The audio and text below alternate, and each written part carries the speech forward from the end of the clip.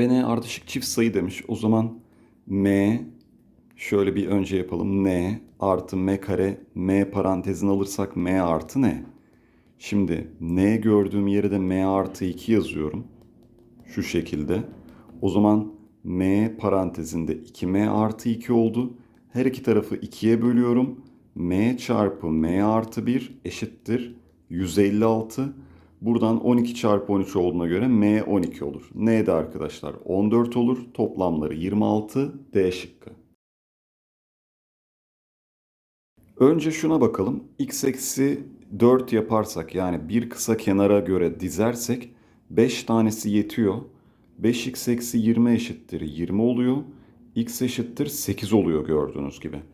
İkincisi eğer böyle 3 tane dizersek arkadaşlar bu kısa kenara da x, y eksi x bölü 4 demiş ya yani y eksi 8 bölü 4 demiş.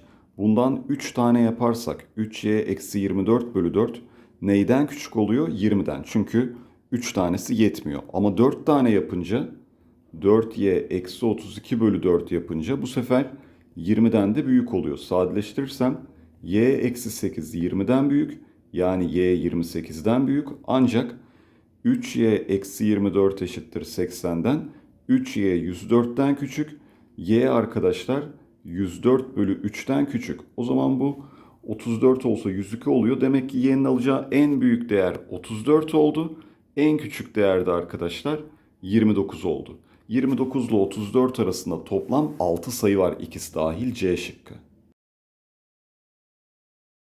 Arkadaşlar bir işlemleri bir düzenleyelim. 1 artı mi bölü 1 eksi i artı n eksi i bölü i artı 1 bölü i. i'yi yukarı atıyorum. Bakın i'yi ters çevirip yukarı atıyorum ona göre dikkat edin. Böyle olacak. Hatta bunu da kenarda çarpayım size. ni eksi i kareden i kare eksi 1'dir. O zaman eksi eksiden artı 1 olur. Burası ni artı 1 oldu. Aşağısı da i artı 1 gördüğünüz gibi. Şimdi burayı 1 artı i ile burayı da 1 eksi i ile eşlenik yapalım. 1 artı i ile m art, mi artı 1'i ve yine 1 eksi i ile ni artı 1'i çarpacağız. Dağıttığım zaman mi artı 1 artı e, yine mi oldu. Pardon orası şeymiş i'di. İ çarpı i'den eksi 1 eksi m oldu ve i çarpı 1'den i geldi. Sonra burası ni artı 1 eksi n kare i'den artı n arkadaşlar ve eksi i. Şimdi mi var ve ni var. i'ler birbirini götürdü. 1 var, 1 var. Artı 2 geldi. Bir de bu işlemleri de yapmak amma gıcık arkadaşlar. Yani o kadar türev yapıyoruz. Şunlarda bocalıyor insan. mi artı ni. Buradan 1, buradan 1. 2 geldi. Sonra şuradan n eksi m geldi. Paydada ne var? 1 artı 1'den 2. Eşittir 3i eksi 1. Buradan da i parantezinde m artı n sabitler n eksi m artı 2 öbür tarafa attığımız zaman 6i eksi 2. Demek ki m artı n 6'ymış. n eksi m artı 2 de eksi 2'ymiş. Taraf tarafa toplarsam bakın m'ler gidiyor. 2n eşittir. Buradan 2 geliyor. n 1 geldi. n 1 olduğuna göre m de 5 oldu. m yerine 5 yazdım. n yerine 1 yazdım. 2 ile çarptım. 3 geldi. E şıkkı. Arkadaşlar burada önce bir yerine yazalım. Şimdi bu zaten x kare eksi 3 böyle olunca. Sonra burayı hallettik artık kapatıyorum. Şimdi burada artık böyle bir x kare eksi 3 oldu. Bu da neye eşit? O zaman x gördüğümüz yere şurada x kare eksi 3 yazarsak x kare eksi 3'ün karesi eksi 2x kare eksi 3 eksi 3 kök 2 sağdan o şeyi koyduğumuz zaman 2 eksi 3'ten eksi 1. Yani açıyorum x üzeri 4 eksi 8x kare 9 16 daha 9 6 daha 15. Ee, buradan eksi 3 eksi 12 artı 1'den artı 13 eşittir 0 oldu. Şimdi bu denklemin normalde reel kökleri yok. Zaten bizden x değerlerinin toplamı diyor. Bakın sorularda verilen ifadelere dikkat etmek lazım. Reel sayı mı demiş, reel sayı dememiş mi? O zaman her şeyi alabilirim. Burada şöyle bakacağım olaya. T kare eksi 8t artı 13 eşittir 0 diyeceğim tamam mı? t buradan x kare. t1 eşittir x kare olsun. t2 eşittir x kare. Niye iki tane böyle yazdım? Şimdi bunun deltası zaten 0 değil, çift katlı kök değil. Hatta deltası arkadaşlar ee, 64 eksi 52'den böyle pozitif bir sayı. Böylece iki farklı kök var. O yüzden t1 ve t2 diye yazdım. Şimdi x kare eşittir t1 dersek 1 kök t1 eşittir x olur. 2 eksi kök t1 eşittir x olur. Sonra burada da kök t2 eşittir x olur. Eksi kök t2 eşittir x olur. Dediğim gibi reel kök demediği için i ile mi ile her şeyi alabilirim buradan. Toplam 4 tane x geldi arkadaşlar. O zaman sağlayanların toplamı t1. Burada yine karesini aldığım zaman t1. Burada x'in karesini aldığım zaman t2.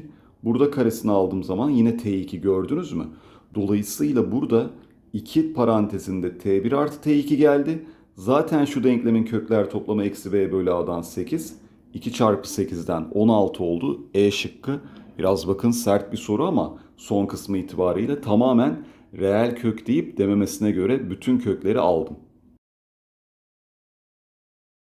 Birincisi arkadaşlar f fonksiyonu a kümesinden c kümesine tanımlıymış. O zaman f fonksiyonu birebir ancak örten değilse a'nın eleman sayısı c'nin eleman sayısından küçük olmalı. Neden? Bir örnek göstereyim bakın size. Birebir olduğu zaman arkadaşlar her bir eleman böyle bir tane elemana gider. X, Y, Z şeklinde. E şimdi 3 elemanlı olduğunu düşünün. Bu örten olmaması için C'nin açıkta elemanı kalması gerekiyor. Böylece bakın gerçekten A'dan büyük olması gerekiyor eleman sayısı. Birebir ve örten fonksiyonlarda direkt mevzumuz nedir? Bize ne demiş bakın B kümesinden A kümesine tanımla demiş G fonksiyonunu. O zaman bu SB eşittir SA olmalı. Birebir örtenin tanımında bu var direkt. Bu yüzden arkadaşlar ne diyeceğiz? Mutlak x eksi x eksi 15 eşittir x'e eşit. Mutlak değer çözümü 1. İçerisi x olabilir. Buradan 2x eşittir. Ee, x eksi 15 oldu arkadaş. Hatta pardon şu x'ler gitti. x buradan 15 oldu. Mutlak değerli denklemlerde sağ taraf sayı değil değişkense yerine yazmanız lazım tutuyorum diye. Koyduğunuz zaman 15 eşittir 15 oluyor. Bu sağladı. Şimdi ikinci durum x eksi x eksi 15 eksi x'e eşit olabilir. Normal mutlak çözüyorum. 2x eşittir mutlak x eksi 15. Buradan da birinci durum 2x x eksi 15 olabilir veya eksi 2x x eksi 15 olabilir. Şimdi arkadaşlar 2x x eksi 15 olursa x buradan eksi 15 gelir ama sorunun başına dönerseniz mutlak değerin dışı negatif olabilir mi? Hayır gitti. Sonra ikinci durum buradan 3x eşittir 15. Buradan da x 5 geldi. Evet sağ tarafa 5 verdiğimiz zaman sol tarafta 5 oluyor. Bu da sağlıyor. İki tane değer oldu. 1, 5, bir de 15. O zaman A kümesinin eleman sayısı yerine yazdığımız zaman 15, eksi 15, 0, 15 olabiliyor. X yerine 5 yazarsak 5 eksi 15, eksi 10, eksi 5 çıktı ve bu da dışarı 5 çıktı. O zaman A'nın eleman sayısı 5 olduysa C 5'ten büyük bir değer olmak zorunda. Eğer A 15 olursa C eleman sayısı 15'ten büyük olmak zorunda. Bu şartlarda 5 olma ihtimali yok C'nin ama 14, 23 arkadaşlar olur. 14 mesela 5'ten büyük. Belki A'nın eleman sayısı 5 o zaman 14 sağlar sağlamaz değil. A'nın eleman sayısı 15 olsa 23'te 15'i geçiyor. O yüzden sağlar arkadaşlar. 2-3 E şıkkı. Arkadaşlar köklerden bir tanesi eksi b artı kök delta bölü 2a olacak. Diğeri arkadaşlar eksi b eksi kök delta bölü 2a olacak. Yerine yazalım hangisi sağlarsa o olur. Şimdi eksi b artı b artı 8a bölü 2a veya eksi b eksi b eksi 8a bölü 2a. Şimdi buraya baktığınız zaman b'ler gidiyor. 8a bölü 2a'dan 4 geliyor. Burada da eksi b eksi 4a geliyor. Şıklarda gördüğünüz gibi zaten 4 olduğu için evet köklerden biri 4 D şıkkı. aşamalı bir polinom verilmiş arkadaşlar. Bir py polinomu, iki rx polinomu. Şimdi önce bir py eksi bir polinomunun y artı 2 ile bölümünden kalan olması için burayı sıfıra eşitleriz. y yerine eksi 2 yazarız. p eksi 3'ü soruyor soru tamam mı? Şimdi bakın p eksi 3 ne demek? y yerine eksi 3 yaz demek. O zaman bu polinom nasıl adlandırılacak? Eğer rx polinomu x eksi 3 ile tam bölünüyorsa bunu kullan diyor. Rx polinomu x eksi 3 ile tam bölünemezse bunu kullan diyor. O yüzden ne yapacağız? Rx polinomunun x eksi 3 ile bölümünden kalana bakacağız. Yani x gördüğüm yere 3 yazacağım. 3 yazıyorum şimdi. R3. 3'ün 4. kuvveti 81. 3'ün 3. kuvveti 27 çarpı 6. E, artı 11 çarpı 9 eksi 6 çarpı 3. Bu arkadaşlar işlem sıfıra eşit oldu. Demek ki tam bölünüyormuş. O zaman üstteki polinomu kullanacağız.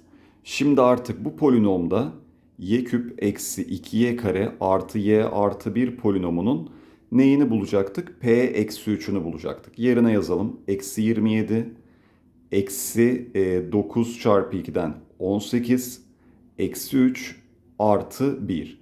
Eksi 27 eksi 18 daha eksi 45 eksi 2 daha eksi 47 oldu D şıkkı. Yolu uzunca düzgünce anlatacağım. İkinci yolu arkadaşlar sadece bir fikir vereceğim yoksa soru çok uzar. Bakın şimdi. Birinci yol şöyle arkadaşlar. Normal denklemi bulursunuz. Bu denklem tanjant alfası 4 bölü 2'den dolayı 2 olan yani 2x artı n şeklinde olan bir denklemdir. Ne yapmamız gerekiyor peki? Burada hemen x'e 0 verdiğimiz zaman y'si arkadaşlar nereden geçiyor? Eksi 4'ten. Gördünüz mü? n böylece eksi 4 oluyor. Demek ki fonksiyon fx eşittir 2x eksi 4 fonksiyonuymuş. Şimdi ötelemeye bakalım. f x eksi 3 çünkü sağsa ne diyorduk? Ters işaretli. Eksi 4. Buradan arkadaşlar 2 x eksi 3 yerine yazıyoruz. Eksi 4. 2x eksi 8 eksi 6 daha eksi 14 oldu. Bu artık gx fonksiyonu ve bunun kökü y'si 0 olan yerdir. Demek ki denklemin kökü 7'ymiş. Sonra geliyorum f x eksi 2 eksi ne demiş? 2. Ama pardon 2 birimi sola demiş sağ dememiş. O zaman solsa yine ters işaretli fx artı 2 olacak. Burada da arkadaşlar 2 x artı 2 eksi 4 bir de tabii ki 2 çıkardığımız için bu eksi 4 denklemin kendisine vardı. Bu 2 ötelediğimiz için. Böylece 2x eksi 2 oldu. hx fonksiyonunun kökü de arkadaşlar x eşittir 1 geldi. Bu denklemin zaten kökü x eksenini 2'de kestiği için 2. Tabloyu yaptığımız zaman kökler 1, 2, 7. İşaret ne? Bakın gx'in artı, hx'in artı, fx'in artı. Bir doğrunun eğimi pozitifse o doğru arkadaşlar. Artandır. Baş katsayısı da artı olduğu için artıyla başlanır. Eksi, artı, eksi. Sağlayan yerler o zaman eksi sonsuzdan 1'e açık aralık bir paydayı sıfır yapıyor çünkü. Birleşim 2 kapalı 7 kapalı. Doğal sayı demiş buradan sadece 0 gelir. Buradan 6 tane sayı gelir. Toplamda arkadaşlar 6 bir daha 7 sayı olur. Şimdi 0 dediğimiz şurada tabi 0 dahil bir tane olduğu için 1 artı 6 tamam mı? Şimdi cevabımız D. Anladıysanız tamam ben birazcık daha ekstra bir yol göreyim diyenler dinleyebilir bundan sonra. Öteleme mantığıyla şunu yaparız. Aslında bence bu da çok önemli. fx eksi 3 eksi 4 dedik ya. Bu denklemin kökü bu denklemi 0 yapan değerdir. 0 olması için 0'a eşitledim. fx eksi 3 eşittir 4 olması lazım. O zaman ana denklemimize döneceğiz. Bu fonksiyon 4 yapan değer nedir? f fonksiyonu 4 yapan değer her zaman aynıdır. İçeriği isterse x eksi 3 olsun, isterse 1 milyon x olsun, isterse 5 milyon x olsun fark etmez. Herhangi bir fx fonksiyonunu 4 yapan değer hep 4 yapar. O zaman 4 olması için şöyle bakın yapıyorum. Benzerlikten yararlanacağım. Burası da 4 birim, burası da 4 birim. O zaman 2 ise orta tabandan 4 oldu.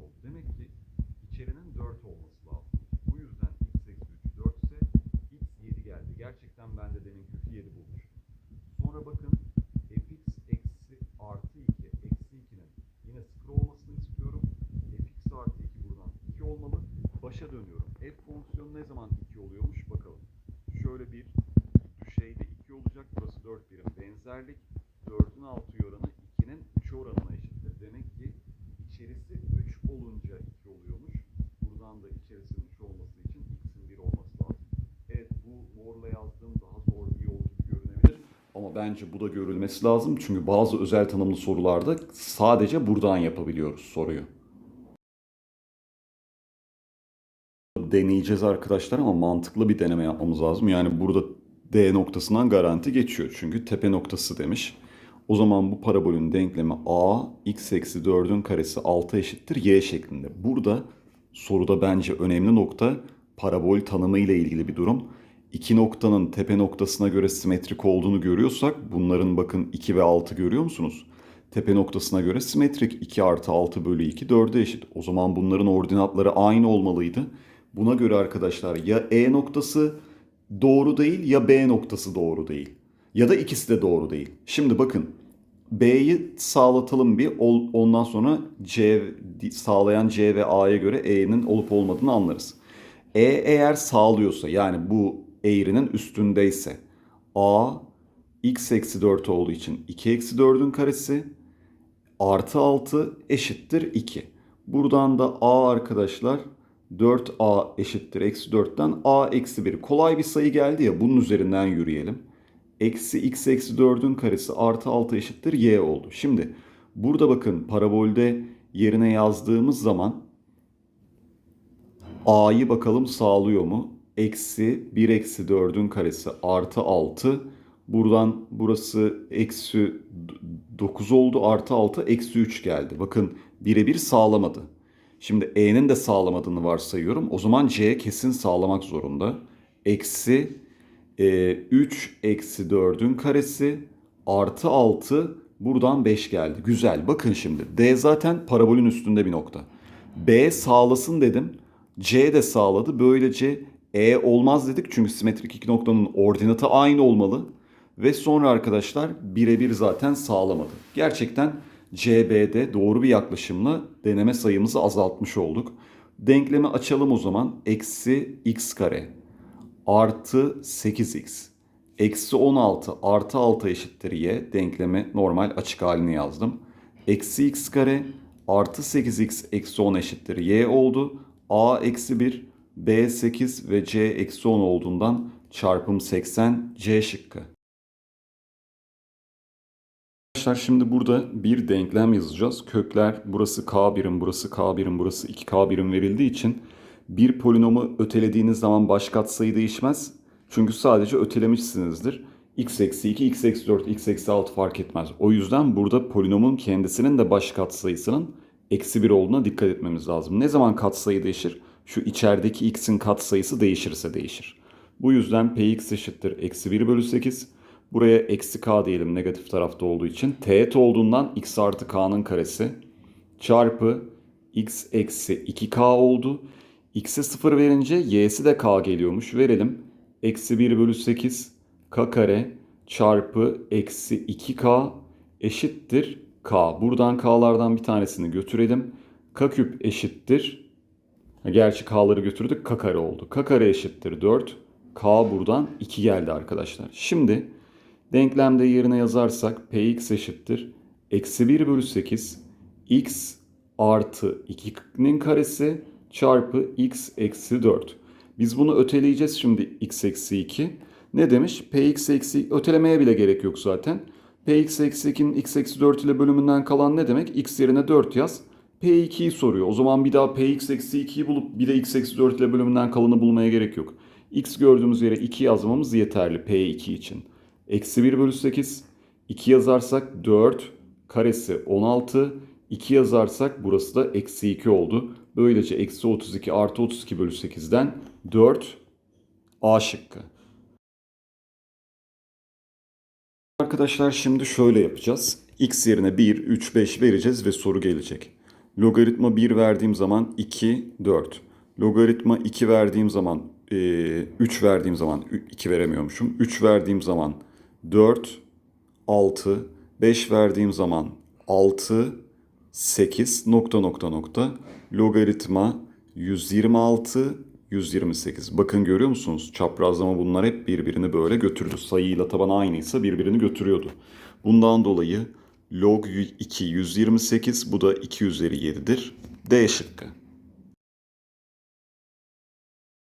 Yerine yazma sorusu. Böyle yeni nesil logaritma sorusu istiyorsunuz ya bakın birkaç deneme dir karşınıza geliyordur.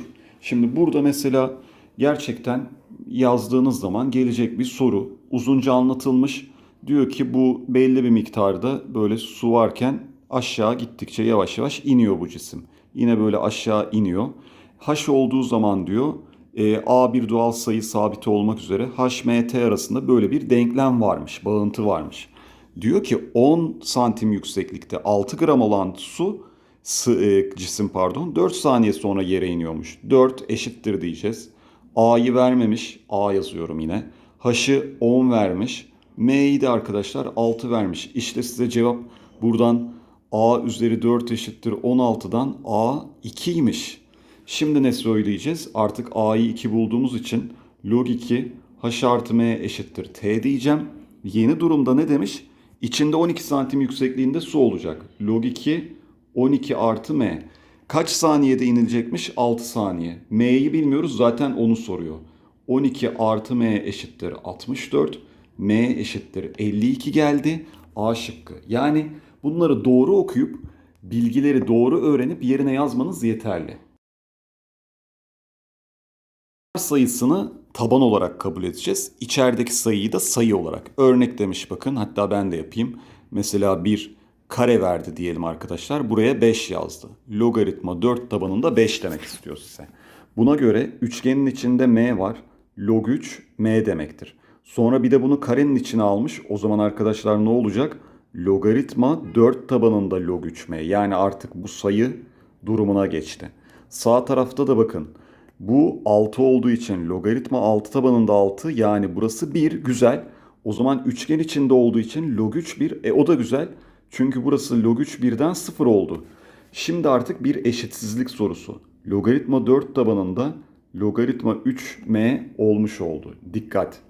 Logaritmanın içi asla negatif ve sıfır olamaz. O yüzden eşitsizliği çözmeden önce her zaman şuna dikkat edin. Logaritmanın içinde ne var?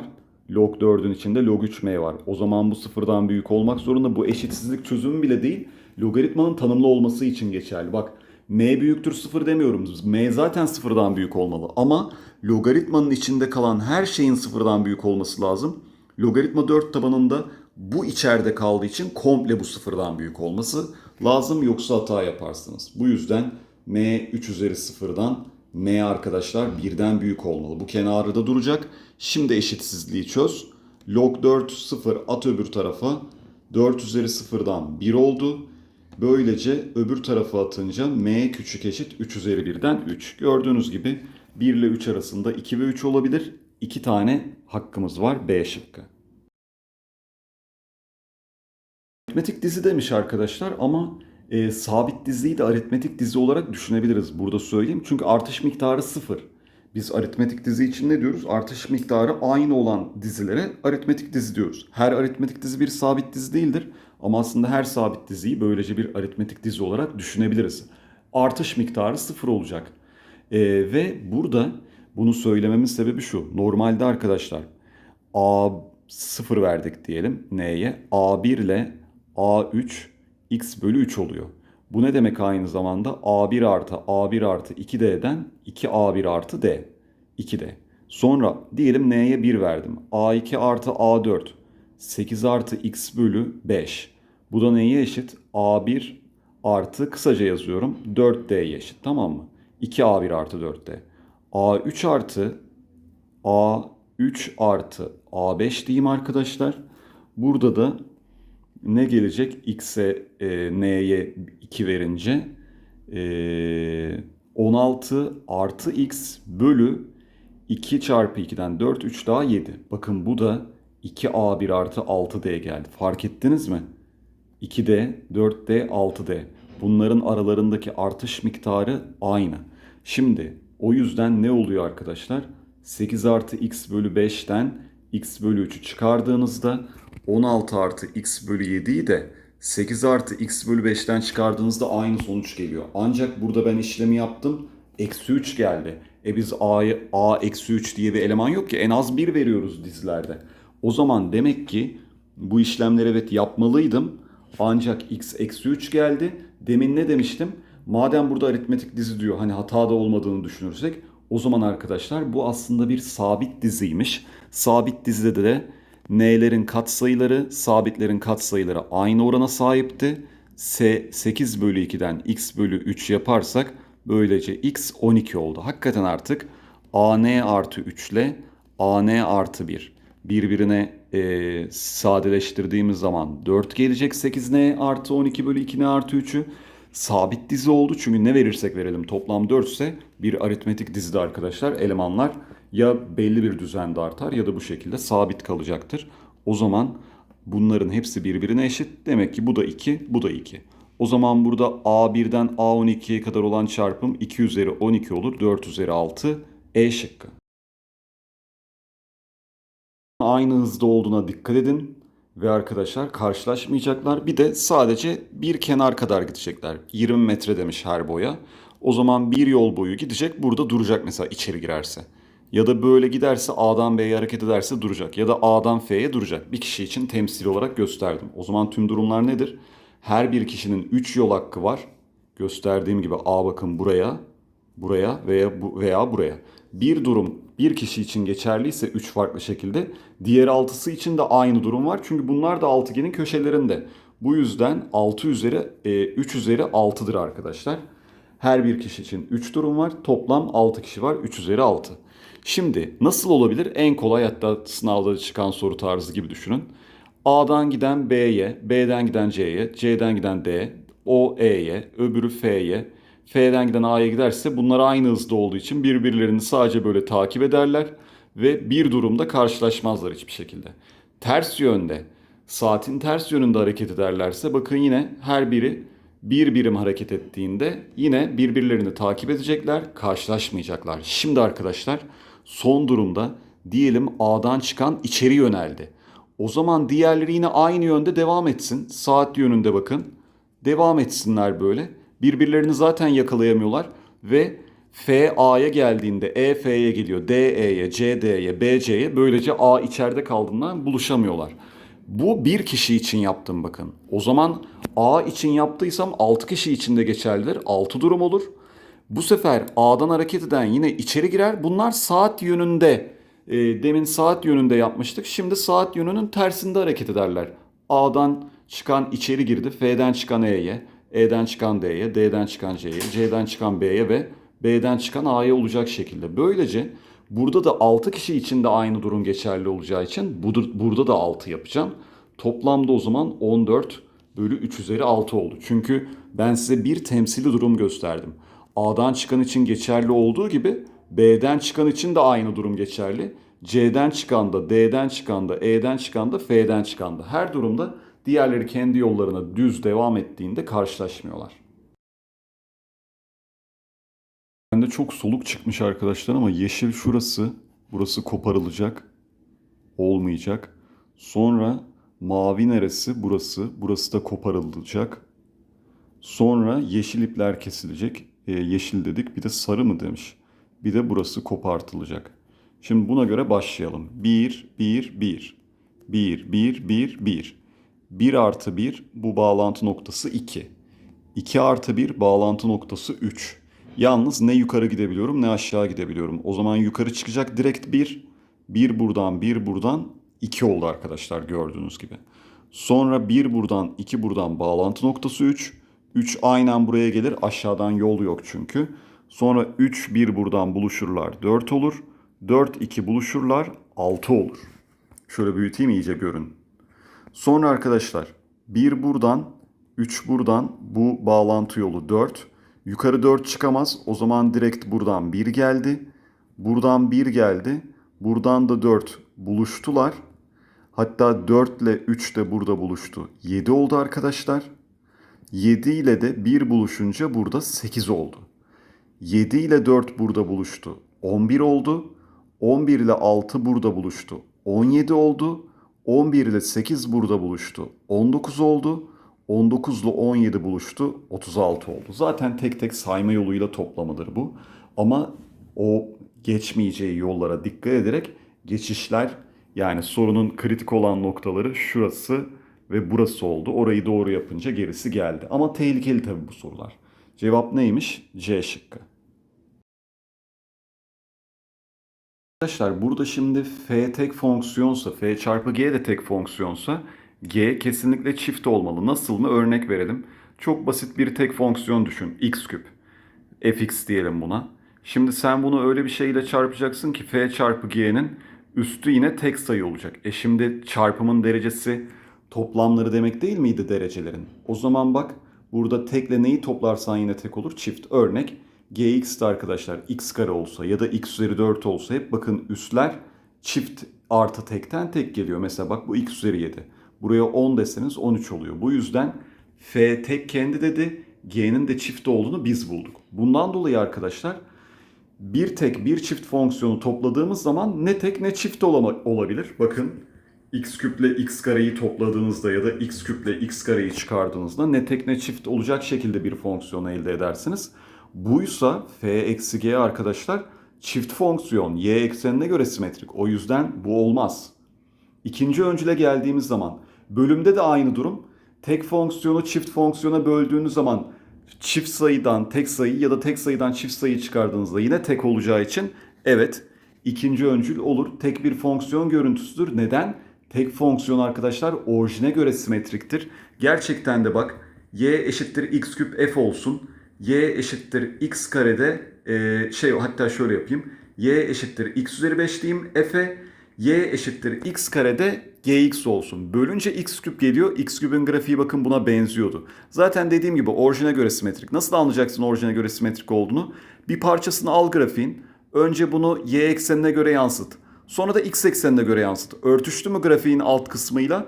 Üst kısım alt kısmıyla örtüştü. Bakın simetrikmiş. Bu şekilde söyleyebiliriz. O yüzden bu olur. Gelelim e, bileşke fonksiyona. Bir bileşke fonksiyonda ister arkadaşlar f çift olsun, ister g çift olsun herhangi biri çiftse bileşke fonksiyon kesinlikle çift fonksiyondur. O yüzden bu çift fonksiyonun grafiğine uygun olduğu için y eksenine göre simetrik olduğu için evet üçüncüsü de olur D şıkkı. Bu resmen bilgi sorusu. Bakın bir örnek daha yine y eşittir x küp 1'i y, y eşittir x kare birisi olsun. F bileşke gx ne demek?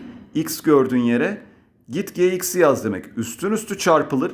Tekle çiftin çarpımı çift olacağı için derece hep çift olacaktır. Çift fonksiyonda y eksenine göre simetriktir. Mevzu bu.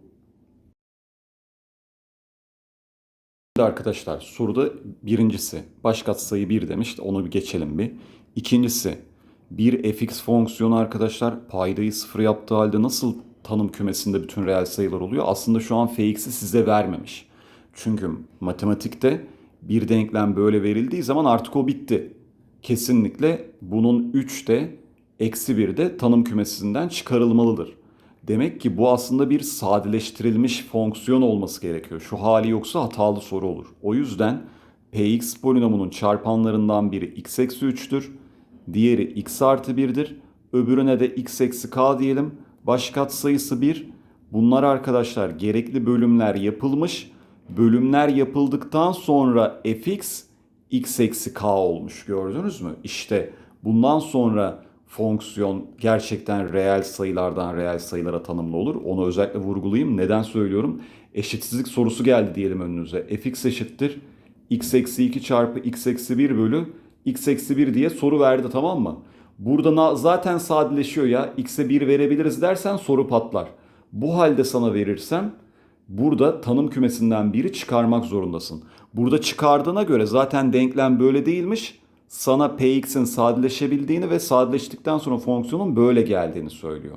Bundan dolayı arkadaşlar limit x 3'e giderken fx 5 ise o zaman yapalım. x eksi k oldu.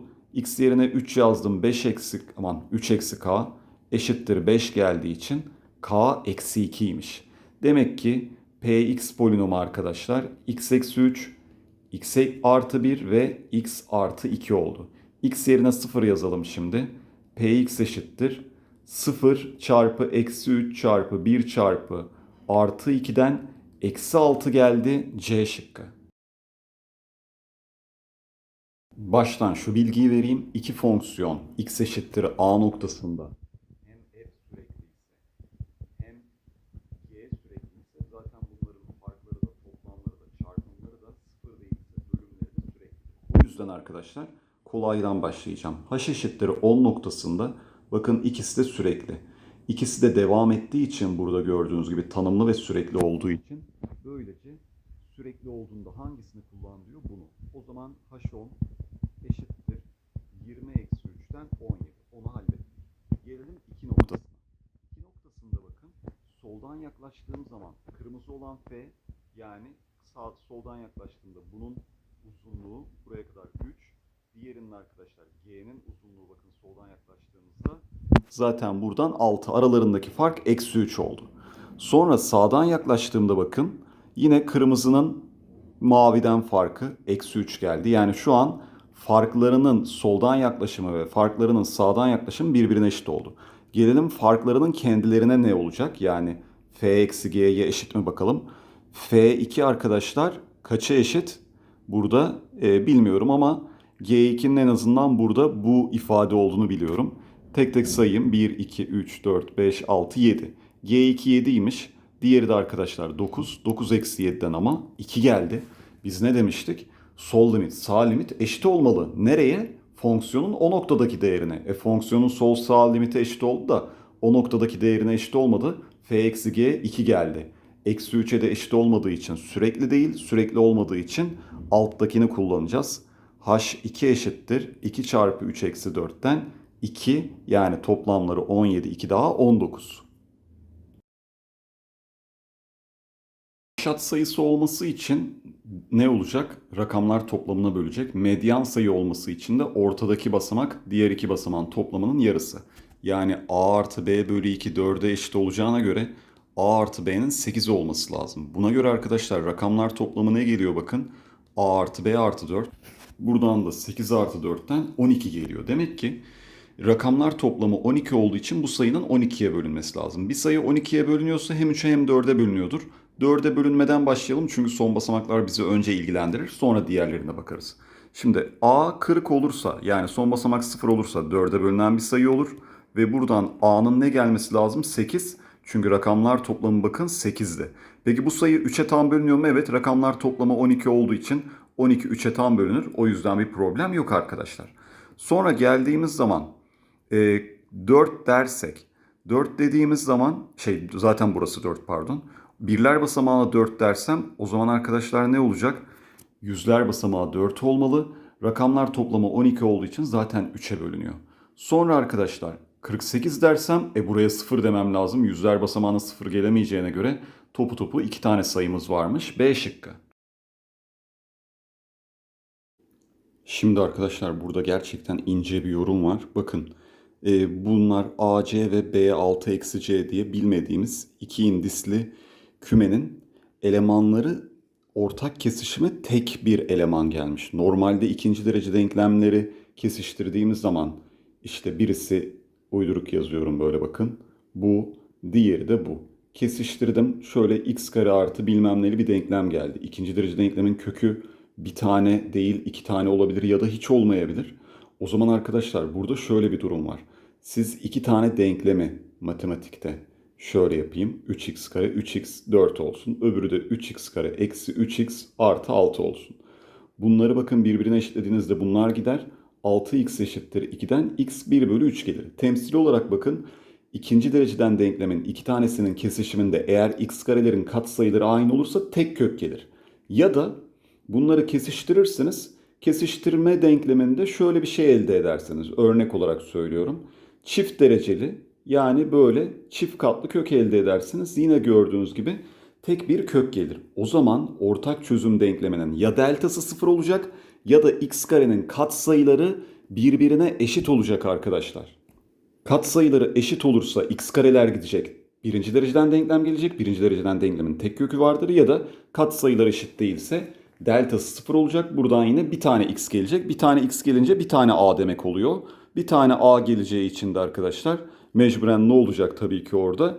B değeri de bir tane gelecek. Şimdi bunların o yüzden yazalım şimdi. AC kümesi neymiş? C eksi 2 x kare eksi c x artı 3. Bu şimdi AC. B 6 eksi c'ye geldiğimiz zaman 6 eksi c x kare eksi 3x artı 10 eksi c.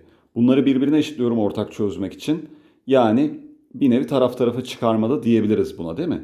Bunları taraf tarafa çıkarırsanız da veya birbirine eşitlerseniz de ikisinde de arkadaşlar ortak çözüm yapmış olursunuz. Taraf tarafa çıkarmayayım hadi sizin için eşitleyeyim. Hani alışkanlığınızı bozmayayım. Bu birinci denklem. Bu ikinci denklem arkadaşlar. Böyle eşitledim. Atıyorum şimdi hepsini sol tarafa. Buradan da ne geliyor? 8 eksi sağ tarafa atayım. 2c x kare eksi e, artı c eksi 3x artı 7 eksi c eşittir 0. Şimdi söyleyeyim arkadaşlar içiniz rahat etsin. Ben bunun deltasını sıfıra eşitlemeye e, çalıştığım zaman uygun c değerini bulamıyoruz maalesef. O yüzden demek ki bunun deltası sıfıra eşit değilmiş. x karelerin katsayıları aynıymış. Yani x kare diye bir katsayı olmuyormuş. Dediğim gibi deltayı sıfıra eşitleyemiyorum. Buna uygun c sayısı gelmiyor. O yüzden de mecburum c artık diyorum ki 4 olsun. Böylece x kareli terim kalmasın taraf tarafı çıkarınca birinci dereceden denklem gelsin. Bundan dolayı yapalım bakın. 4 yerine yazınca yukarısı 2x kare eksi 4x artı 3 eşittir. Birinci denklem. İkincisi de arkadaşlar 6 eksi 4'ten 2x kare eksi 3x e, buraya da 4 yazdığım zaman 6 eşittir y. Birbirine eşitlediğimde ya da taraf tarafa çıkardığımda bunlar gitti. Eksi x eksi 3 eşittir. 0 oldu arkadaşlar. Buradan da x eşittir. Eksi 3 geldi. Herhangi birisini de yerine yazarsam artık denklemi bulurum. Şey e, y'yi bulurum. Bunu da yazayım. Yazıyorum bakın. Eksi 3'ün karesi 9. Çarpı 2. Eksi 4 çarpı eksi 3 artı 12. Artı 3. Buradan da 9 kere 2 18. 12 daha. 30 33 geldi. B'yi arkadaşlar 33 bulduk. A'yı da eksi 3 bulmuştuk demin. X dediğimiz zaten birinci bileşen.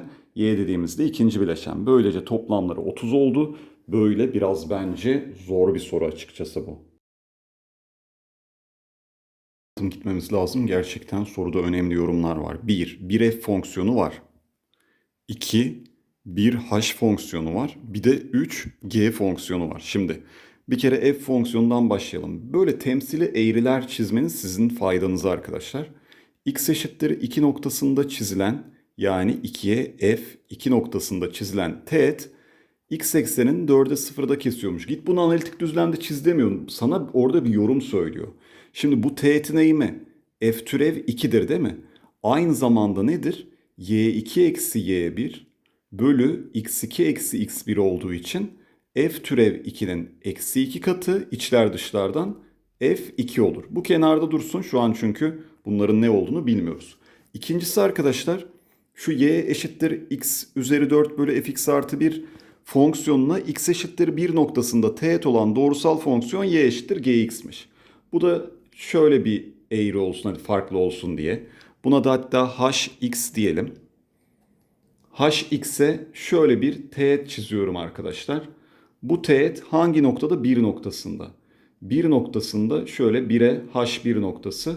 Buradan çizilen teğetin eğimi de nedir? h türev 1'dir arkadaşlar. Bu neye eşitmiş? gx doğrusuna. O zaman şunu söyleyebiliriz bakın. Burada şunu kullanarak. Şimdi bu limit gh artı 1 eksi g1 bölü h neydi arkadaşlar? Türevin limit tanımı. Bakın kenarda formülü hatırlatıyorum. g h artı e, x artı h eksi gx limit x e, limit h sıfıra giderken bölü x artı h eksi x'ten bunlar gidiyordu. İşte bu arkadaşlar g türev x'e eşitti. Bu ne demek biliyor musunuz? Bakın siz şöyle hatta yer değiştirirsek 1 artı h olarak düşünün. Burada birden birazcık uzaklaşmışız. Bu işte bize anlık o noktadaki türevi veriyordu. H da sıfıra yakın olursa tam o noktadaki teğetti o. Bu yüzden arkadaşlar g1 artı h eksi g1. Burayı da gördüğünüz gibi o birler gidiyor ama normalde var aslında. 1 artı h eksi 1, 1 artı h eksi 1. Bu yüzden bu noktada yani g nok 1 noktasındaki türev. g türev 1 de 18. Bu arkadaşlar doğrusal fonksiyon yani doğru. Doğrunun türevi her noktada aynıdır. Doğrunun türevi her noktada o doğrunun eğimine eşittir. Bu yüzden bunu alacağız buraya yazacağız. Doğrunun eğimi eşittir doğrunun türevi her noktada. Bu da 18'miş. Şimdi artık buranın türevini alıyorum. 4x küp çarpı f x artı 1 eksi x üzeri 4 çarpı f türev x artı 1 bölü f x artı 1'in parantez karesi. Şimdi bu arkadaşlar e, h türev x dedik. 1 yazıyorum çünkü o noktadaki türev demiş. h türev 1 4 çarpı f 2 eksi f türev 2 bölü f2'nin karesi arkadaşlar. Şimdi f2 eksi 2f türev 2 ya ona şöyle diyelim. Fonksiyon manasında f diyeyim türev manasında t olsun. Eksi 2t eşittir f olsun. Böylece f gördüğüm yere eksi 2t'yi yapıştırıyorum. Eksi 8t. Sonra burası zaten t. Sonra burası eksi 2t'nin parantez karesi 4t kare eşitmiş. Bir noktasındaki türev 18'e eşitti. Buradan da arkadaşlar t eşittir eksi 1 bölü 8 geldi. Demek ki fonksiyonun iki noktasındaki türevi eksi 1 bölü 8. Bu arada neydi? f2 de bunun eksi 2 katıydı. O zaman bu da arkadaşlar 1 bölü 4 geldi. Çarpımları eksi 1 bölü 32 oldu. A şıkkı kesinlikle zor soru. Hiçbir şey demiyorum. Çünkü bir sürü nokta görmeniz lazım. Eleyici böyle sınavda artık hani derece yapmak isteyen ve artık fulllemek isteyen öğrenciler için iyi bir soru bence. Arkadaşlar burada şu negatif değerli mevzusunu ben önemsiyorum. Diğerlerini hallederiz zaten de. Şimdi y eşittir x eğrisi var. Bir de y eşittir fx şey y eşittir x doğrusu var bir de fx var. Bunların farkını aldığımda böyle bir eğri olmuş. Normalde y eşittir x doğrusu sabit artan bir fonksiyondur. Ama y eşittir x eksi fx daha hızlı artan bir fonksiyon olmuş gördüğünüz gibi. Şimdi bu sabit artandan daha hızlı artana nasıl geçiyor? Böyle roket takmış gibi bakın hızlı gidiyor. Burada demek ki eksi olduğu için bu eksi olmasına rağmen hızlı arttırdığına göre eksi fx hızlı arttırıyorsa fx'in kendisi negatif değerlidir. Bunu nereden anlarsın? Normalde x'e 3 verdiğinde y eşittir 3'tür. y eşittir x doğrusu. Ama x'e 3 verdiğinde bu fonksiyon arkadaşlar x eksi fx fonksiyonu 5 olmuş.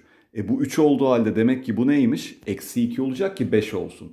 Bu yüzden negatif değerlidir. Bu kesinlikle doğru. Gelelim artan azalanlık mevzusuna. Şimdi bu fonksiyon artan bir fonksiyon gördüğünüz üzere. Artan fonksiyonun türevi pozitif işaretlidir. 1 eksi f türev x oldu bu fonksiyonun türevi. Bu şimdi artı işaretli ama birden arkadaşlar biz şimdi 0.5 çıkartırsak da pozitif olur. Ya da 0.7 çıkartırsak da pozitif olur. Ya da 0 çıkartırsak yine pozitif olur. Veya eksi çıkartırız yine pozitif olur. O yüzden f fonksiyonunun artan ve azalanlığına yorum yapamadığım için bu gitti. x çarpı fx'e bakalım. fx artı x çarpı f türev x bakın bu çarpımın türevi. Şimdi bu negatif değerli kesinlikle eksi işaret.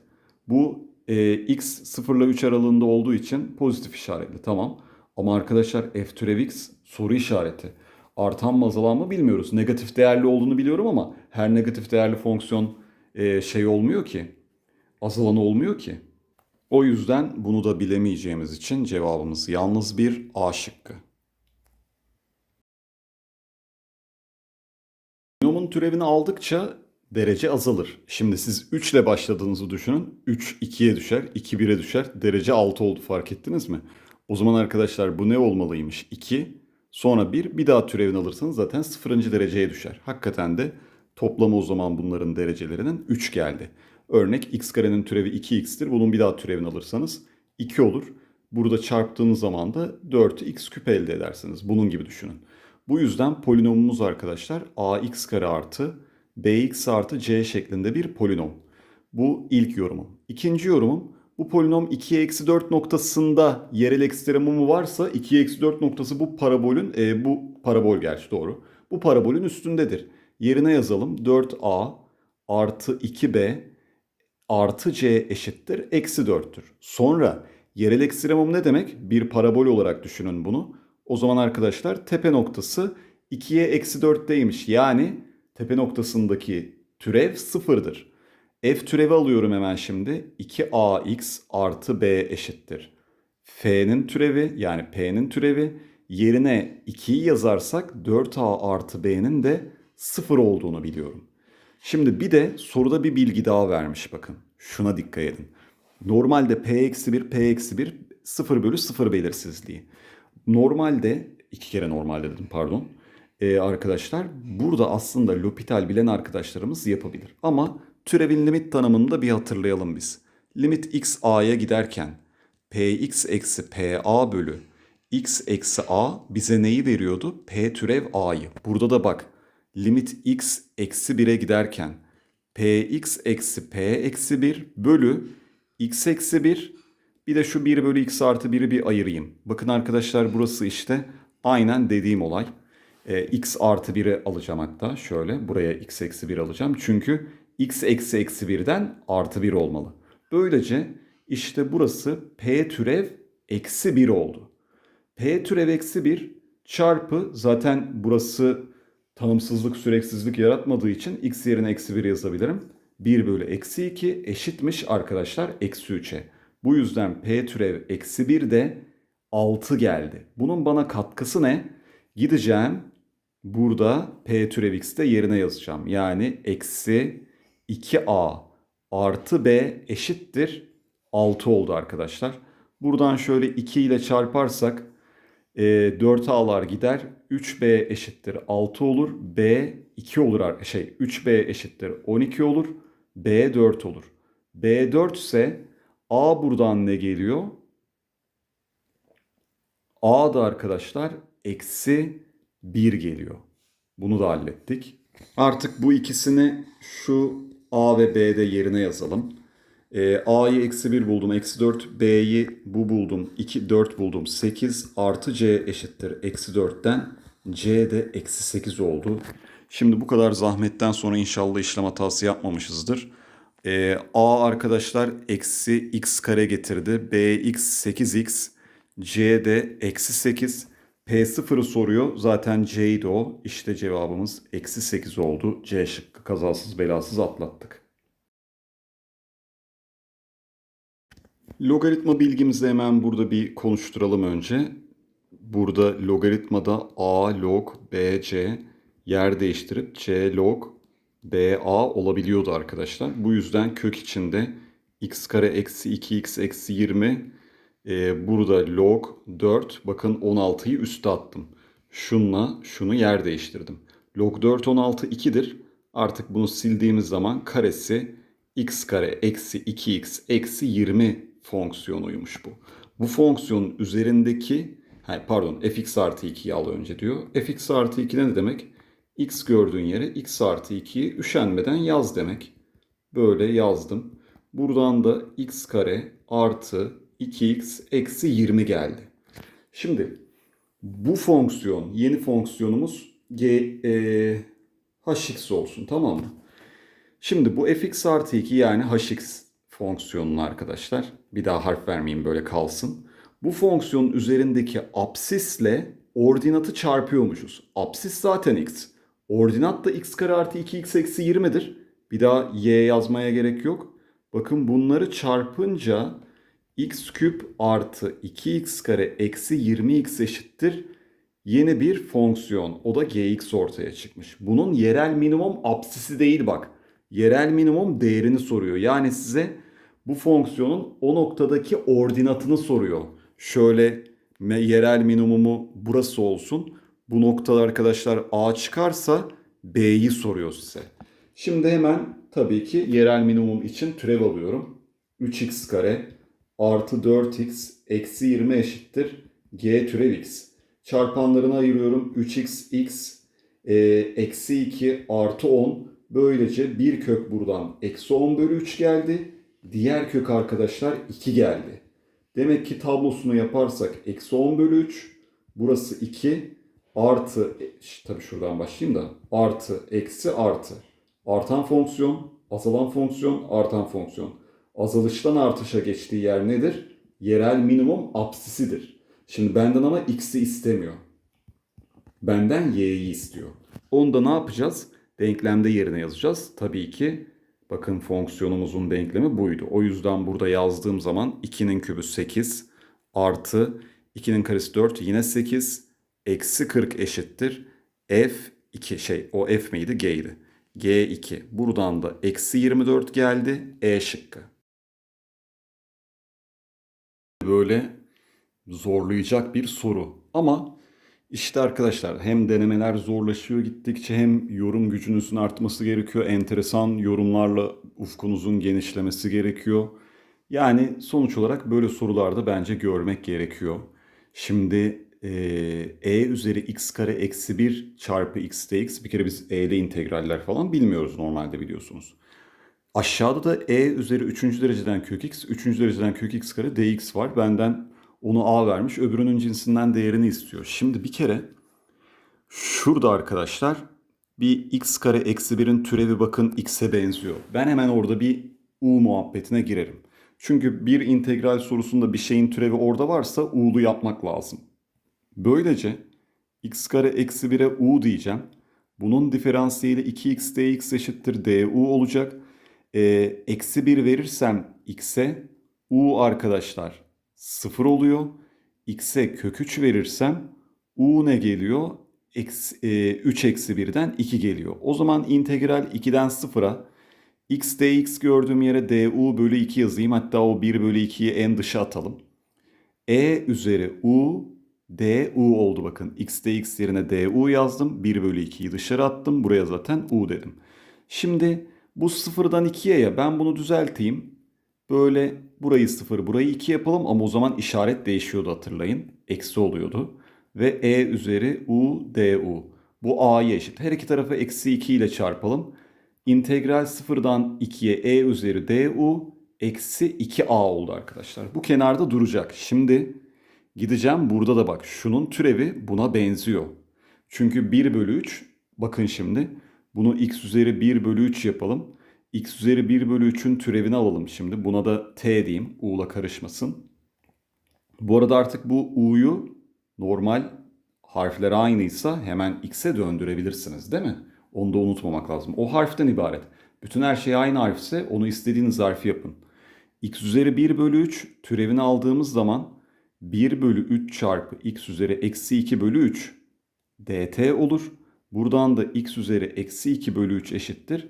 3 dt gelir. Şimdi burada arkadaşlar şöyle bir durum oldu bakın. Bu x kare küp kök zaten ne demek? x üzeri eksi 2 bölü 3 demek. Güzel. Demek ki komple buraya ben 3 du diyecekmişim. 3 çarpı du. Buna şey dt demiştim.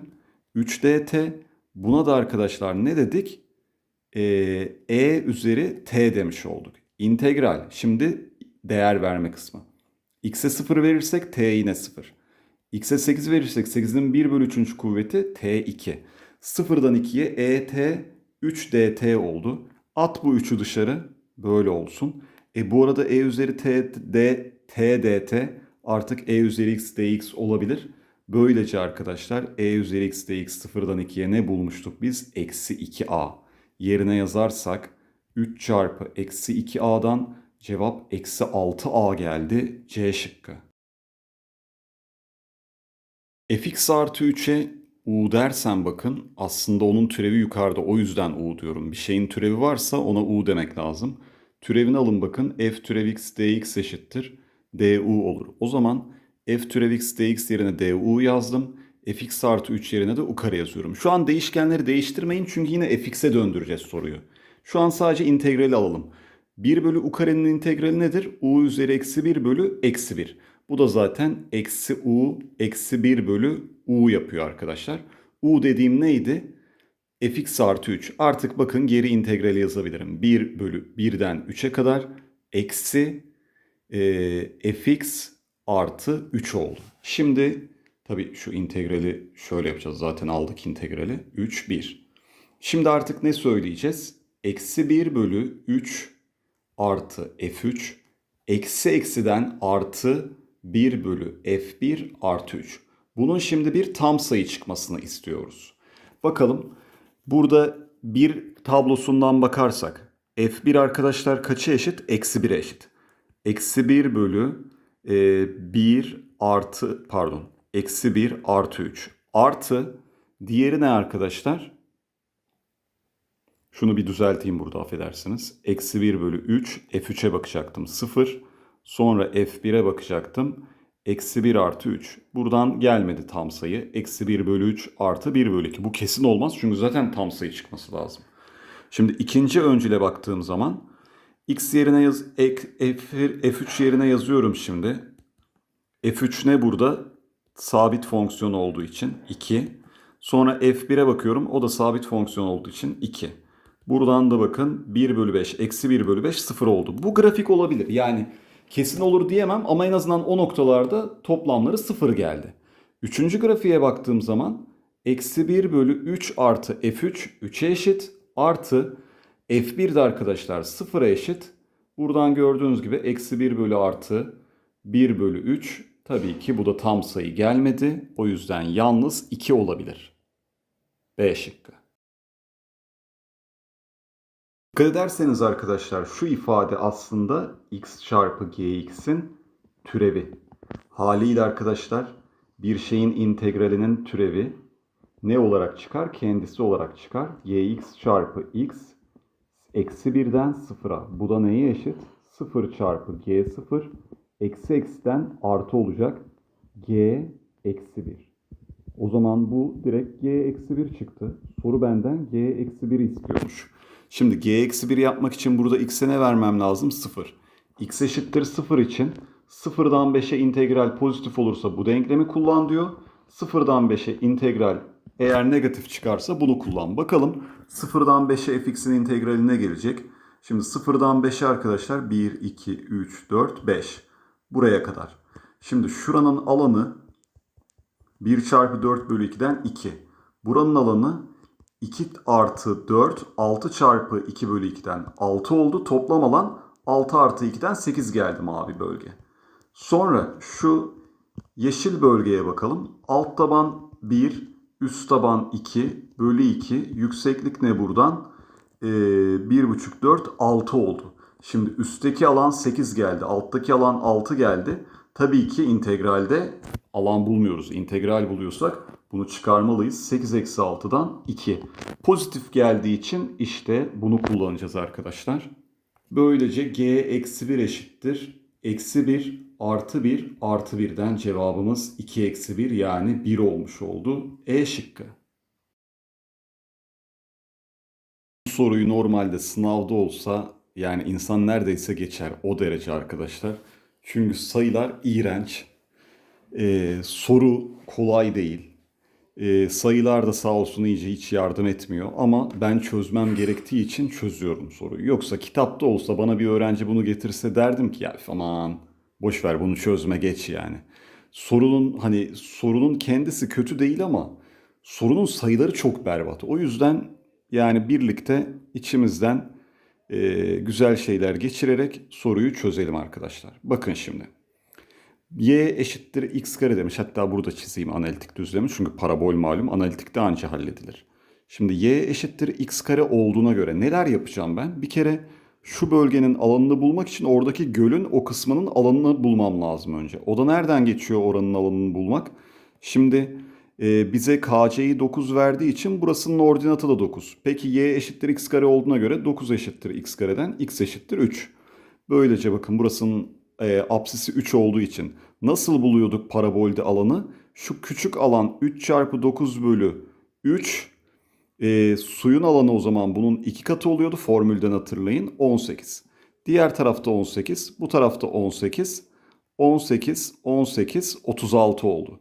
Toplam alanı bulalım o da bize yarayacak birazdan. Toplam alanda arkadaşlar burası bize ne verilmiş? E, yüksekliğin tamamı 36 verilmiş. O zaman 36 eşittir x kareden x 6 geldi. Demek ki buranın uzunluğu 6. Yine ne yapacağız bakın şuranın tamamını bulmak için. Önce 6 çarpı 36 3'e böleceğim. Sonra 2 ile çarpacağım. Parabolde hatırlayın. Teğet olan kısımda şu kısım arkadaşlar s'ti. Bu kısımda 2s'ti. Tamam mı? Bu yüzden.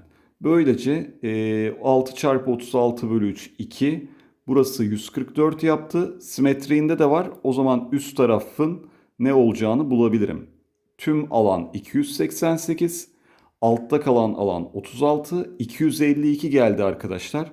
Suyun üst kısmındaki alan. Kalenin üst kısmındaki alan. Şimdi bunları yazalım üstünde dursun. Üst bölgenin alanı 252. Alt bölgenin alanı 36. Şimdi arkadaşlar dikdörtgenin alanı yani KBLC'nin alanı normalde kaç? Taban 9, diğer taban 72. Buradan nereyi çıkaracağım? 9 çarpı 72'den 36'yı çıkaracağım. Yeşil bölgenin alanını verecek. Bunun da arkadaşlar %2'si altınmış. Bu. Neyse bu tamam mı? Ee, sadece hesap makinesiyle burada hesaplamak kalacak. Sonra arkadaşlar geliyorum üst kısma. Üst kısmın toplam alanı normalde şu dikdörtgenin alanı nedir arkadaşlar? Ee, 36'dan 9 çıkartırsak 27 çarpı 72 eksi oradaki üstteki su arkadaşlar 252. Bunun yüzde biri de bize işte oradaki altını veriyor. Bunların toplamı arkadaşlar 29.12 olacak. Bakın işlemleri yaptım şey değil. Hani anlatmamazlık yapmadım ama yani o sayıların ne olduğuyla uğraşmak istemiyorum. Sonuçları toplayınca en azından bu geldiğini bilin. Daha doğrusu sorunun yorumunu görmüş olun. Fonksiyonun tersini almak demek x'i yalnız bırakmak demek arkadaşlar. O zaman y eşittir arc sin 1 eksi x dersek öbür tarafa attığımda sin y eşittir 1 eksi x olur. x buradan 1 eksi sin y olur. Yani f'in tersi x 1 eksi sin x oldu. Sonra aynı şeyi arc sin x eksi 1'de de yapalım. At öbür tarafa sin y olarak geçer. Şimdi x'i yalnız bırak. Sin y artı 1 eşittir x olur. Böylece f şey g'ydi bu. g'nin tersi x sin x artı 1 oldu. Bunları şimdi çarparsak 2 kare farkından 1 eksi sin kare x 4 bölü 9 arkadaşlar. Buradan da sin kare x eşittir. Ee, 5 bölü 9 oldu. Şimdi sin x arkadaşlar kök 5 bölü 3 veya eksi kök 5 bölü 3. Zaten işaretten ziyade burada e, rasyonel sayı mı değil mi ona bakacağız. Tam sayı mı değil mi ona bakacağız pardon. Şimdi sekant x hemen dik üçgeni çiziyorum. Buraya x diyorum. Buraya kök 5, buraya 3. 9'dan 5 çıkarsa 4, Pisagor'dan 2 geldi burası. Haliyle sekant x ne demektir? 1 bölü cos x. Bu da 3 bölü 2. 2 ile çarpınca güzel. Bu tam sayı geldi ilkinde hemen yakaladık. Kök 5 tan x demiş. Tan x arkadaşlar kök 5 bölü 2. Eğer rasyonel sayı mı deseydi evet doğruydu ama tam sayı dediği için olmadı. Sin x arkadaşlar zaten o direkt kök 5 bölü 3 olduğu için buradan 2 kök 5 geliyor. Bu da tam sayı değil. A şıkkı. Arkadaşlar burada şuna bakalım. Buraya bir x diyelim. Bakın şimdi. Burası sarı şu açı 90 eksi x doğru mu? Ben burada size şunu söyleyeceğim. Şimdi AB üssü AD'ye eşit. Buralarda 90-90 olduğuna göre mecburen Pisagor'dan DKKB üstüne eşit olur değil mi? Bunun bize katkısı ne? Bakın şuraya y dersem açı ortay olur burası da y olur. O zaman şöyle bir hamle yapacağım. Tanjant 2y eşittir. Tanjant 90 eksi x. Yani 2y gördüğüm yere 90 eksi x yazdım. Bu da ne demek? Kotanjant x. Kotanjant x o zaman ters çevirirsek 8 bölü 15. Yarım açılarda özel üçgen gelirse yarım açı formülü yerine arkadaşlar şu daha mantıklıydı biliyorsunuz. Dik üçgeni çizmek. Burası tanjant 2'ye 8, 15, 17. Şöyle bir ikizkenar üçgen YY diyoruz. Burası da 17 olduğundan bak ne güzel tanjant Y 8 bölü 32 oluyor. 1 bölü 4 oluyor. Bunu neden yaptım? İşte bakın buraya K dersem işte AD 4K olur. Bu karenin alanı 16K kare eşittir 144'ten K 3 gelir. K 3 gelince bu kenar 3 artık bu kenar 12. 3 çarpı 12 bölü 2'den bu alan 18. Bu alanda 18 36 olur. E şıkkı. Şık gibi görünüyor ama aslında burada bir fark formülü var arkadaşlar. Bakın 2 tan 2x ve 2 tan x'e odaklanın. Bunları yan yana yapalım. 2 tan 2x eksi 2 tan x. Diğerini de öbür tarafa atıyorum. 1 artı tan x çarpı tan 2x diye. Şimdi arkadaşlar her iki tarafı 1 artı tan x çarpı tan 2x'e bölüyorum. Burayı da tabi doğal olarak bölmüş oluyorum. Şunlar gitti. Burası 1 oldu. Bak iki parantezinde burası tan 2x eksi tan x olmayacak mı? Şurası zaten tan 2x eksi tan x yani 2 çarpı tan 2x eksi x'in formülü şurası. Bu da 1 olduğuna göre tan x eşittir 1 bölü 2 geldi. Tan x 1 bölü 2 ise arkadaşlar x bir alfa dar açısıdır. 180k diyelim. Alfa mesela uydurup değer veriyorum önemli değil. Yani maksat orada bir dar açı olsun yeter ki. Alfa mesela 20 derece olsun tamam mı? O zaman 0 ile 720 arasında ne olacak? 1. K'ya 0 verirsin 20 olur.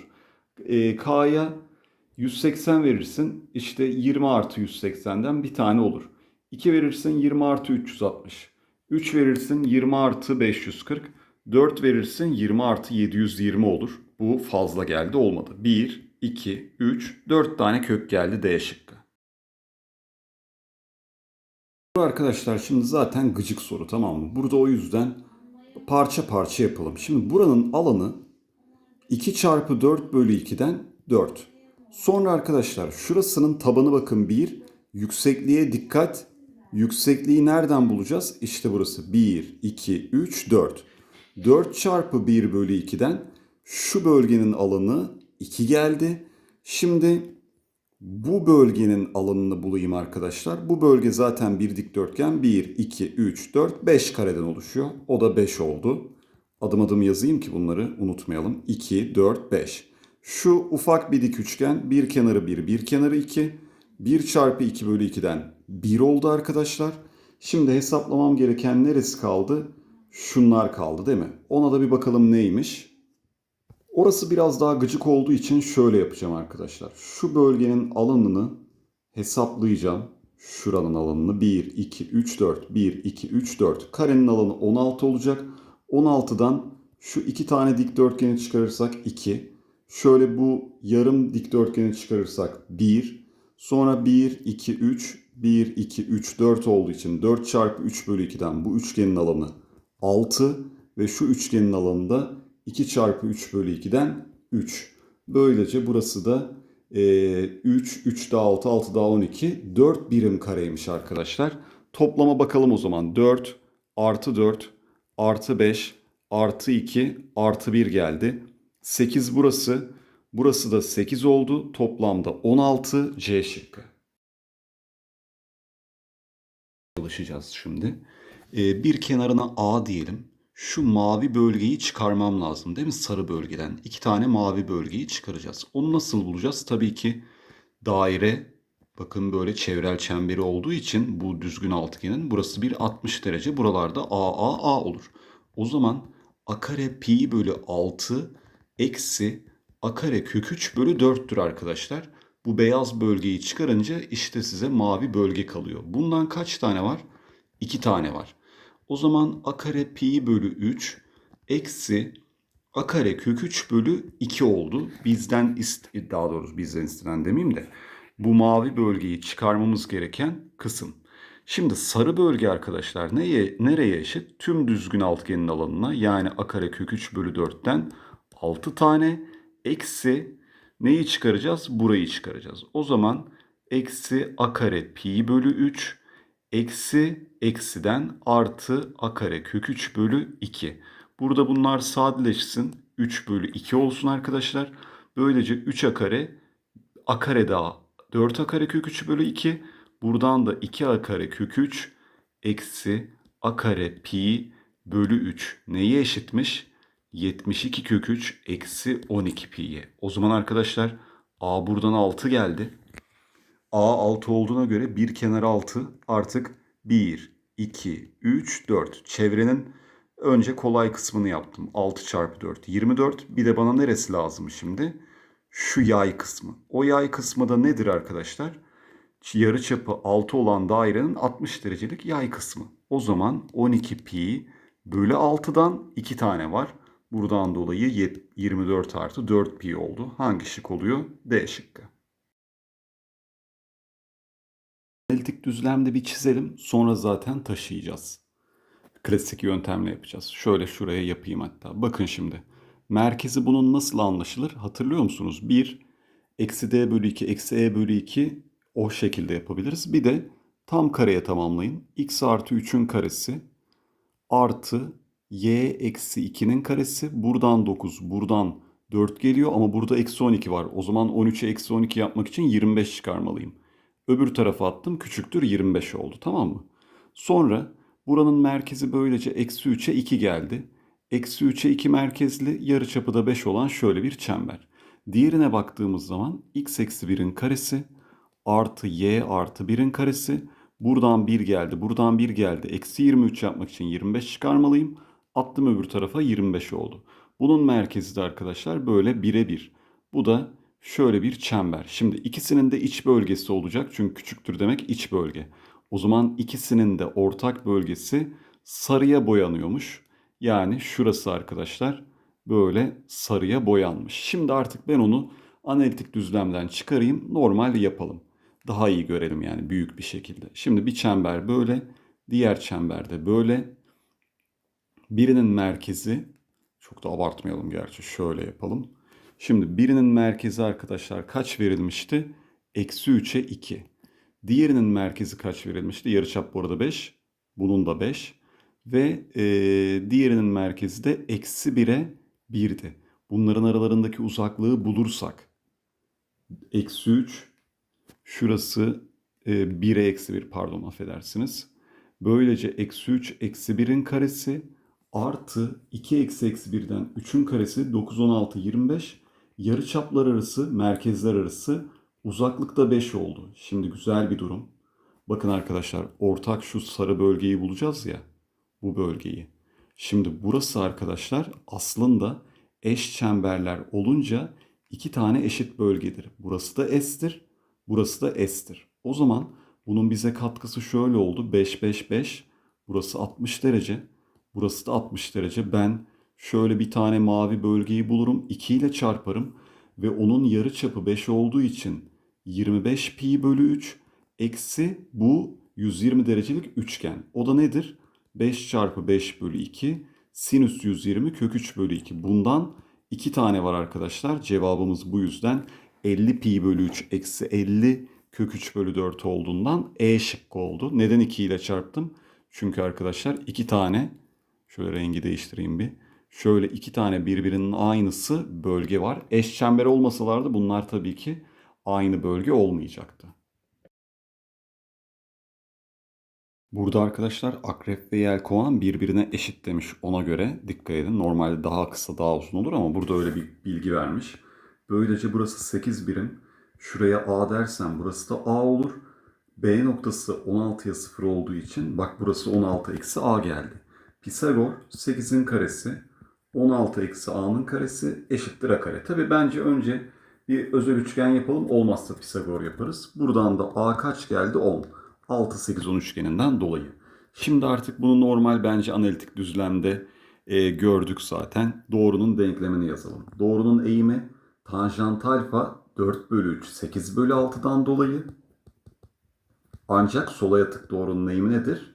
Eksidir. Bu yüzden eksi 4 bölü 3x artı ne? N'yi nereden bulacağım? 0'a 8'den geçtiği için x'e 0 ver. Y'si 8 böylece n de 8 oldu. Demek ki doğrunun denklemi y eşittir. Eksi 4 bölü 3x artı neymiş arkadaşlar? Buna dik olan doğru orta dikme ya. Buna dik olan doğrunun eğimi ne olur? Eğimler çarpımının eksi 1 olması için 3 bölü 4 olur. 3 bölü 4x artı k diyelim ona da. Ve arkadaşlar bunun orta dikme doğrusu ortasından geçer. Bir noktası 0'a 8 malum A, A noktası. Bir noktası da arkadaşlar C noktası 6'ya 0. Burası böylece ne oldu?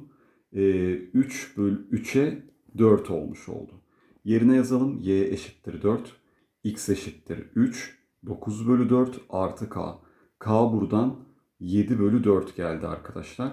Y eşittir 3 bölü 4x artı 7 bölü 4 olmuş oldu. Böylece bu doğrunun denklemi Tabii şıklarda bizim bulduğumuz gibi yok. O yüzden ne yapacağız? Payda eşitleyip hepsini öbür tarafa atacağız. 4y eksi 3x eksi 7 eşittir 0 oldu payda eşitleyince A şıkkı. Büyüteyim daha iyi görün arkadaşlar. Bakın şimdi. L 8'e eksi 2 verilmiş. K 7. Şöyle L'den bir dik indirdiğim zaman K'dan da bir dik indirdiğimde bu karşı kenar PT diyelim. PT'de 7 birim değil mi? TL'ye 1 kaldı şimdi. L'nin apsisinin 8 olması için. Sonra arkadaşlar bakın alfa dersem, beta dersem L noktasının ordinatı ne verilmişti bize? 2 değil mi? Burası o zaman 2 birim oldu. Ve böylece artık ne söylemiş olacağız? KT'de 2. Şöyle tanjant alfa desek tanjant alfa arkadaşlar 1 bölü 2 oldu. Bunun bize katkısı 8 birim. O zaman arkadaşlar 1 bölü 2 olması için PM 4 olur. Yine şuraya alfa dersek tanjant alfanın yine 1 bölü 2 olması için NO'da 3 geldi. 3, 6, 3 kök 5 oldu NM uzunluğu. Doğrunun simetriğini alırken özel doğrulara göre yapacağınız şey üzerinde bir xy belirleyip onun simetriğini alıp sonra denklemde yerine yazmaktır. Bakın şimdi. xy noktasının x eksenine göre simetriği nedir arkadaşlar? x eksi y'dir. Doğru mu? Bakın böyle bakın. x eksenine göre simetriğinde apsis aynı kalır ordinat işaret değiştirir. Bu yüzden 3x artı 2y eksi 12 eşittir 0 oldu. Gelelim şimdi 3x artı 4y eksi 24 eşittir 0'ın x eşittir 2'ye göre simetriği. Bir xy noktasının x eşittir 2'ye göre simetriğinde şöyle dik ve eşit uzaklık olacak. Burada ordinat yine değişmez. Şöyle bir absiste m olsun. m ile x'in toplamının tam yarısı 2 olacak. Gördüğünüz gibi çünkü x eşittir 2 doğrusu bunların tam ortasında. Bu yüzden m 4 eksi x olur. y zaten değişmiyor çünkü sağ veya sola katlamada ordinat değişmez. Bu yüzden x gördüğüm yere 4 eksi x yazıyorum. Artı 4y eksi 24 eşittir sıfırdan.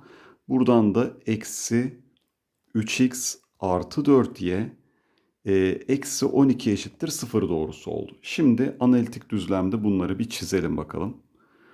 E, şöyle bir doğru şey analitik düzlem çizeyim. Birinci doğrumuz buydu. X'e 0 verdim. Y'si 6'dan geçiyor. Y'ye 0 verdim.